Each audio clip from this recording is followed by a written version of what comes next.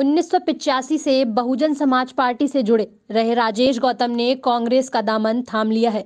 लखनऊ में समर्थकों के साथ उन्होंने कांग्रेस प्रदेश अध्यक्ष अजय कुमार लल्लू की मौजूदगी में सदस्यता ग्रहण की। वहीं कानपुर पहुँचने पर राजेश गौतम ने बताया कि बहुजन समाज पार्टी में विभिन्न पदों पर रहते हुए काम किया। लेकिन वर्तमान में जिस तरह से दलितों के हकों के साथ विश्वासघात हो रहा है, उसको रोकने के लिए कांग्रेस के अलावा कोई अन्य पार्टी दिखाई नहीं दे रही है। मैं राजेश गौतम 85 से 1985 से मैं बहुजन समाज पार्टी के विभिन्न पदों पर रहा। और आज तक बहुजन समाज, और विगत कुछ दिनों तक मैं बहुजन समाज पार्टी में काम करता रहा।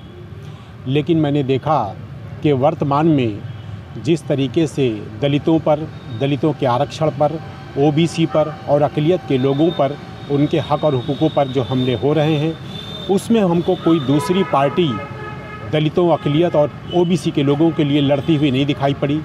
मैंने देखा कि इस समय अखिल भारतीय कांग्रेस पार्टी एकमात्र ऐसी पार्टी है जो वर्तमान में सरकार की ज्यादतियों से लड़ती हुई दिखलाई पड़ रही है।